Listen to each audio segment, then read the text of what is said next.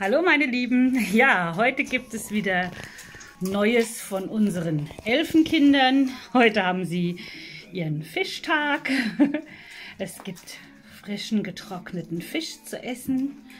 Ja, ich glaube, heute steht generell ihr Tag unter dem Zeichen des Wassers, weil draußen hatten die Kleinen eine Katzentoilette stehen, die gefüllt war mit Wasser, so als Mini-Swinging-Pool. Ja, und wie man sieht, sie sind alle ordentlich pitsche-patsche nass. Also die Abwechslung, die hat ihnen gefallen. Und jetzt muss man sich natürlich erstmal beim Mami wieder stärken. Nach so viel Action. Hört euch mal an, wie die Kleinen schmatzen. Wie so kleine Ferkelchen. Und guckt euch mal an, was das für Riesenbrocken sind. Guck mal, der liegt jetzt der Länge nach da. Ist das ein Bröckelchen, ey. Beziehungsweise, das ist ein Mädchen. Also das ist eine Hündin, die jetzt gerade da vorne so liegt. Brr, da muss man sich erstmal schütteln, ne? Ja, und unsere Hunde bekommen ganz viele getrocknete Knabbersachen, getrockneten Fisch, getrocknete Gänsehälse, getrocknete Hühnerhälse, getrocknete Rinderbeine, Rinderkopfhaut, Rinderohren und Schweineohren. Also so das Ganze, was so auf dem Programm steht, auch Markknochen, weil ich sage immer, genau wie kleine Kinder so eine orale Phase haben, so haben Hunde die auch und es ist ganz, ganz wichtig für ihre Entwicklung, dass sie knabbern und kauen und machen können, das brauchen die einfach, ja.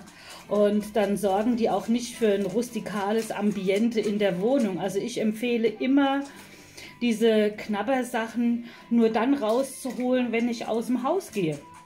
Weil wenn das natürlich immer zur Verfügung steht, ist es uninteressant.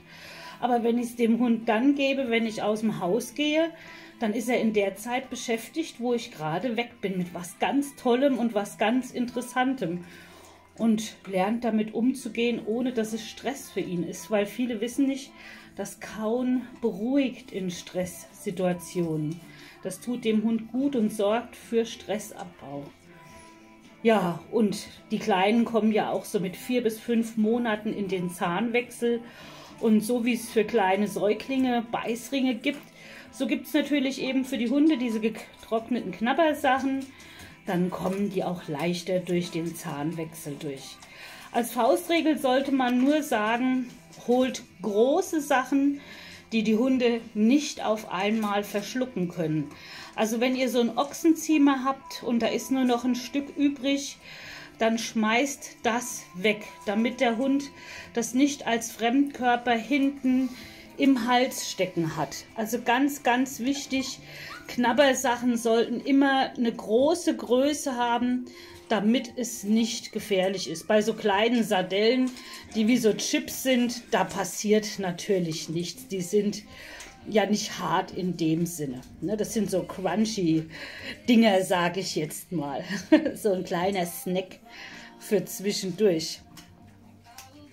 Ja, ich hoffe, ich habe euch wieder viel Freude gemacht mit meinem kleinen Video. Den Kleinen, wie gesagt, denen geht es sehr, sehr gut. Die sind alle wohl auf. Ja. Elfe findet das auch total lecker. Getrocknete Sachen, die gehen immer. Die lieben sie über alles. Also meine Hunde, wenn die schon hören, dass ich mit einer Tüte raschel, dann stehen die alle vor mir und sagen, los, los, los, gib her. Was gibt's jetzt wieder Tolles? Und der Vorteil bei diesen getrockneten Sachen ist halt, dass keine Farb- und Konservierungs- und Lockstoffe drin sind und auch kein Zucker, weil das hat natürlich in Tiernahrung überhaupt nichts zu suchen. Das ist halt wirklich ein gesunder Snack. Ne?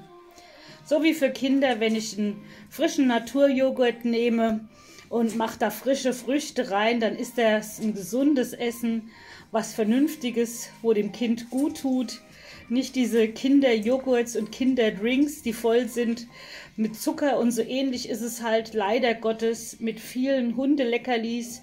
Die Hunde fressen die natürlich wahnsinnig gerne, aber oft hat, haben diese Sachen mit Fleisch oder so gar nichts mehr zu tun, sondern sind einfach nur Ballaststoffe und ähm, ja, wie gesagt, voll mit Farb- und Lock- und Konservierungsstoffen. Und das sollte man natürlich seinem Hund nicht zu essen geben. Also guckt euch wirklich einfach mal auf der Packungsrückseite an, was da drin ist. Ihr werdet staunen, was sich in eurem so tollen, wunderschön geformten Leckerli alle drin, alles drin befindet. So, jetzt in diesem Sinne, alles Gute, bis dann, tschüss.